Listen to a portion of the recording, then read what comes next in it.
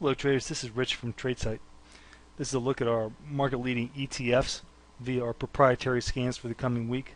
This is going to be for the week of Monday, August 5th, 2013. Right now in the uh, majors we don't really have anything uh, shaping up as far as signals and we've got uh, very very light volume except for the uh, kind of the, the, second cousin the MDY. Alright, moving on to the major sectors. Uh, at least domestically, we've got uh, a couple of upside CPS conditions. Nothing on the sell side. For the most part, we're seeing lighter volume here. You can see the the, v, the volume deviations were pretty decent here to the downside as far as just being down on, on volume overall. A um, little bit of volume in the TAN and the IYR, but everything else is, is fairly benign.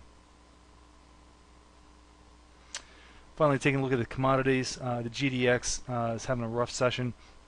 Uh, it's having a very weak afternoon. Look at the, the, the VWAP deviation. So they're pushing it down below today's uh, volume weighted average price. But it's on, on lighter volume. The only thing that's really in range of some decent volume is the DBA, and there's no signal with that one. Do have a buy signal uh, on the XME and a camo sell signal in the SLV. Looking at the uh, looking at the foreign stuff, we're a little bit better to buy here, but again, nothing uh, has a volume bump. Got an upside CPS in the EFAs in the EWZ. Tracking Brazil has uh, has an upside signal signal as well. EWZ's got very very light volume. Now finally, uh, moving on to the specials. As far as the specials go, we only have one uh, one signal, and that's a, that's the QLD, and it's on uninspiring volume, and not really seeing anything that's really sticking out here as a big uh, open close deviation or a big VWAP deviation.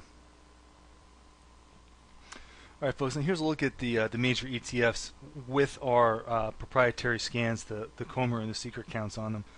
What I want to point your attention to is that we're getting really close to uh, some really important numbers here. Uh, in the Qs, we're going to be 13 days up today. We're already 13 days up in the aggressive Seeker countdown, but we're going to be 13 days up in the in the standard countdown.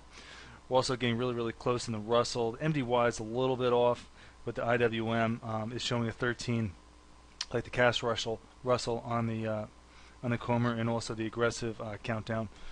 So definitely be aware of that. That's really setting up the VIX um, is also 13 days to the downside, which uh, could exert itself and uh, and feel its uh, feel its push on the market this coming week. We've also got a fair number of uh, of stocks that are getting close here. This is the Comber column. This is the standard Seeker countdown, and this is the aggressive countdown. You can see the aggressive countdowns here there's a lot of 11, 12s, and a couple of 13s already.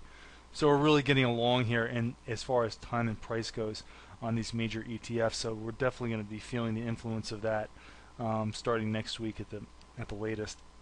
So keep keep that in mind as you go forward um, next week. Definitely be probably a week where where you could uh, definitely uh, sink your teeth in and hopefully uh, hopefully make some money uh, on some decent moves with some with some fresh energy in the market. All right, folks. Well, as always, thanks for listening. This has been Rich from TradeSight.